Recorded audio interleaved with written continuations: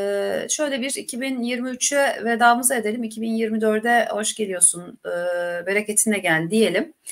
Nereden istersen bir e, yüzden başlayalım. Evet. Biz yüzden başlayalım. Senin de söylediğin gibi işte e, iki gündür dün ve bugün böyle bir göreceli e, bir tepki atağı içindeyiz. E, en azından e, bu kadar e, nefesinin borsa yatırımcılarının nefeslerinin kesildiği bir dönemde hani baskılı dönemde en azından iki gündür bu 7100 bölgesinde önemli bir hareketli ortalamamız vardı. Biraz sonra grafikte göstereceğim. Oradan yaşadığımız tepki atağı göreceli olumlu. Ancak tabii bu disiplinin bir tepkiden çıkıp yeniden rahatlama, yatırımcıların biraz daha performans alabilecekleri bir harekete dönüşmesi için e, sevgilimine elbette ki teknik şartlarımız var. Onu birkaç dakika sonra anlatacağım ama şuna gelelim. E, şu var, e, kesinlikle ve kesinlikle kesinlikle şeye çok dikkat etmemiz lazım. Ee, nasıl diyelim? Sürecin devamında hareketin tepki noktasında kalmasıyla trende dönüşmesi noktasında trende dönüşmesi noktasını çok iyi yönetmemiz lazım. Çok iyi yönetmemiz lazım. Orada e, çünkü genellikle yatırımcılarda şu oluyor sevgilimine. Şimdi burada klasik hatta ben grafiğimizi açayım direkt grafikten gideyim. Şunu bilerek şurada hazırladım. Bak şunu bilerek gösterdim bugün e, kapanış itibariyle çok nötr bir e, çok nötr bir piyasa var. E, çok küçük minik bir para girişi var. Bu yatırımcıların en çok kızdığı ve söylendiği Bank of America'yı sol tarafta alıcılar tarafında gördüğümüz bir gün oldu. Ama o zaman bugün öyle, sinirlenmiyoruzdur ona. Yani evet ben bu sinirlenme noktasında e, kıymetli takipçilerin hepsine hak vermek e, tarafına eyvallah hak veriyorum ama profesyonel olarak onlarla aynı şeyi düşünmüyorum. Ona girmeyeceğim. E, hı hı. Dolayısıyla nötr bir gün aslında yukarı tepki atağını çok güçlü tonda besleyen bir para girişi ve e, genel bir pasta yok karşımızda. Bu şerhi de koyalım. Ama dediğim gibi e, yukarı yönlü bir tepki atağındayız. Bu da göreceli olumlu. Şimdi Mine karşımızda grafiğimiz var bak. Şimdi nereden? 4500'den 8500'e geldik. Çıktık. Sonra bu çıkış, bu trend aşağı yukarı 8200'lerde kırıldı ve yaklaşık e, Ağustos ayından beri veya Ağustos Eylül ayından beri 7500'de 8000 bandında bir sıkışıklık yaşadık veya Ekim ayından beri demem daha doğru olacak. Akabinde bu 8000'lerin üstüne geçemeyince biliyorsun biz seninle son iki yayınımızda 8080'lerin üstüne oturmadıkça yatırımcıların temkinli olması gerektiğini, ciddi kaldıraçlı pozisyonlar ve kredili pozisyon taşımanın çok riskli olacağını sen de ben de yatırımcılar elimizden geldiğince anlatmıştık. Çünkü 7500'de 8000'deki sıkışma endeksi oldukça yoruyordu. Ciddi anlamda aracı kurumlarda kredili mal taşıma e, e, kabiliyeti oluşuyordu. Bu kabiliyet de bu faiz ortamında piyasada çok ciddi baskı yapıyordu. Neticesinde bir alt banda o 7520'lerdeki önemli desteği kırarak bakın şimdi burada göstereceğim. Burada 144 günlük hareketli ortalamamız var sevgilimine. Hı hı. Ne biliyor musun bu hareketli ortalama? Bak şöyle bir geri dönelim. 2023 yılında yaklaşık 5700'den 4400'lere düştüğümüz dönem yaklaşık 4-5 ay sürmüştü. Şu mouse'la gösteriyorum. Tamam. Bu dönemde de yine biz 144 günlük hareketli ortalamanın altında şöyle bir birkaç hafta bir ezildik, bir mızmızlandık. Sonra oradan tekrar kalktık. Şimdi bak buraya yaklaştırıyorum. Yine 144 haftalık hareketli ortalamanın üstünde 3-4 gündür dikkat bak temkinli bir tutunma var. Yani zayıf bir tutunma var. Buna ne taraftan bakmak lazım? Yani göreceli olumlu bakılabilir. Ama ben yine geçen ay söylediğim şeyi söylüyorum bak. Bu pembe var ya bu pembe. Bu pembe geçilmedikçe Borsa İstanbul'da New Beginning yeni bir trend başlıyor. Haydi arkadaşlar Borsa İstanbul'da kazanma dönemine yeniden başlıyoruz disiplini oluşmayacak. Ama bu pembe geçilince ne olacak biliyor musun? Onu da çizerek göstereyim. Çünkü yaşanmışı var. Borsa İstanbul'da yaşanmışı kalmayan bir şey bizim için yok sanırım. Yani yok bu, yok. Bu iddiada yani, da söylemek istemiyorum ya, ama. Mine bir de başka bir şey söyleyeyim sana.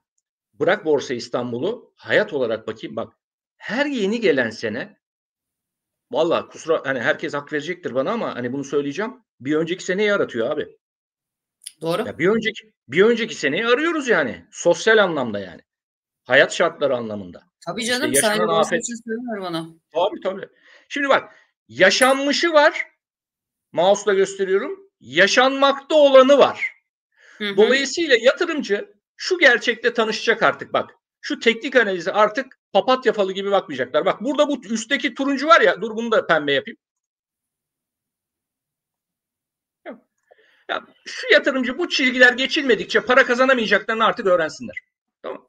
Bak geçildiği zaman ne olduğunu görüyoruz. Trend başlıyor. E burada ne orası orası? 7900. Bu ne demek biliyor musun? Bu ne demek? 7259 7108 7259 7108'lerin üstünde kalınması Borsa İstanbul XU100 endeksinde kısa vade tepki atağının devamı için önemli bir destek bölgesi olacaktır. 259 ve 108'lerin üstünde kalan bu hareketin bu düşen trendimiz olan 7908'lere kadar daha böyle yatırımcıları biraz daha böyle rahat bir tempoda bak biraz daha rahat bir tempoda biraz daha risk iştahı yüksek bir şekilde trading disiplinine biraz daha güvenli bir bölgeye geçebilmesi için e, bugünkü dünkü ve bugünkü hareketin 7490 üstünde kapanış vermesi elzem önemli.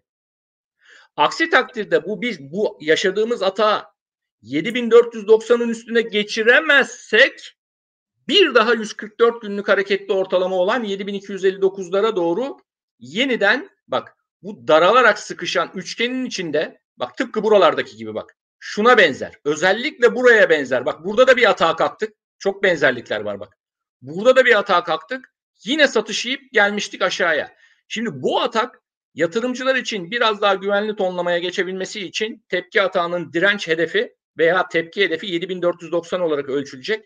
7490'ın üstündeki kapanışlarda pembe düşene doğru yukarı yönlü yeni bir 400 puanlık veya tabii 350-400 puanlık yeni bir hareket sahası başlayacak.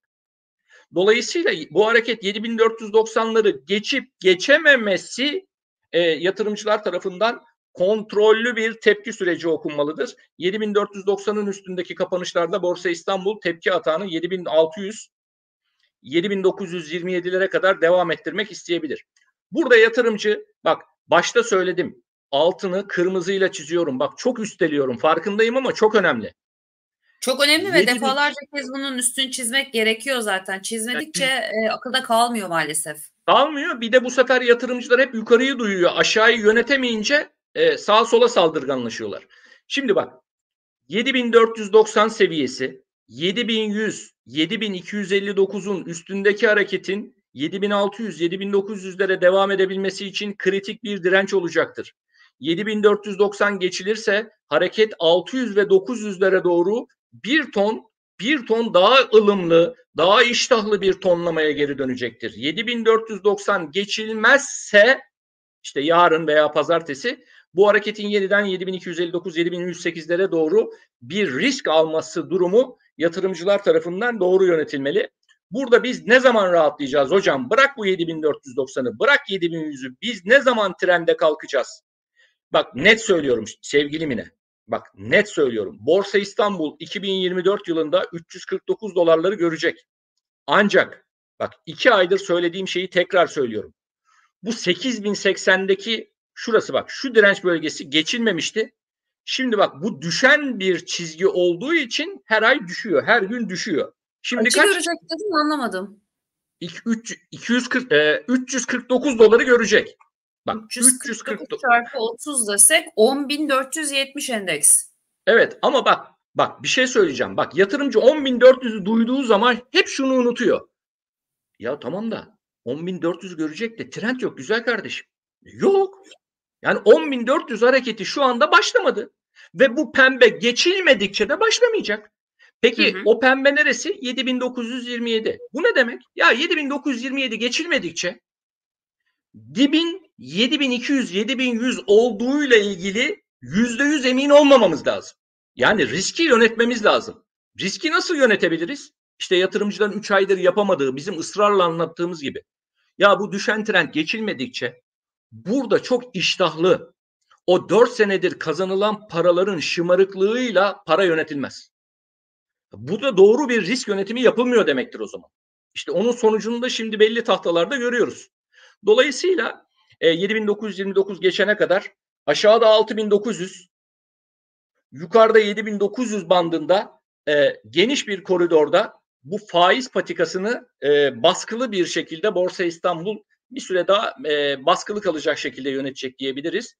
Ben şahsen bak, ben şahsen bu pembe geçince ateşe odunu atarım. Ama 7929'un üstünde ikinci kapanışı görene kadar 6900 7100 7600 bandında piyasayı asla ve kata tek yönlü okumam. Çift yönlü okurum. Bir arabanın pistonları gibi. Alırım veririm, alırım veririm. Çünkü burada trend yok. Bu piyasa biraz daha 6900 7100 ile 7490 7600 bandında muhtemel olarak bir sonraki Merkez Bankası'nın son kez arttırması beklenen faiz kararını bekleyecek gibi duruyor yine.